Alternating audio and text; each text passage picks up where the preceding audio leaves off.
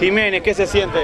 Una alegría enorme, la verdad que esto algo vivido y la verdad que muy muy feliz por todo esto. ¿Hizo justicia?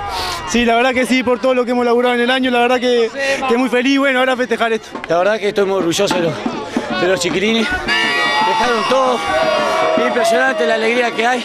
Estábamos muy seguros de lo que queríamos y se nos dio. Es especial, ser campeón con Candil es especial. Es muy especial.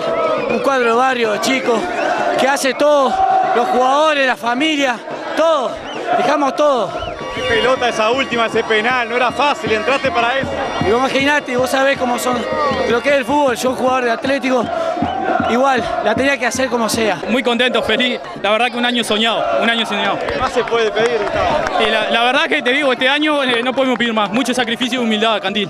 Hicieron fuerza por vos de varios equipos, pero te quisiste quedar en Candil. Y esto muestra por lo que me quedé, eh, un grupo espectacular. Volví eh, por las ganas de, de estar con el grupo y este, eh, como siempre me recibieron bien y bueno, este, dejar todo por Candil, eh, como, como, como todos lo hacemos. ¿Qué se siente, Gustavo?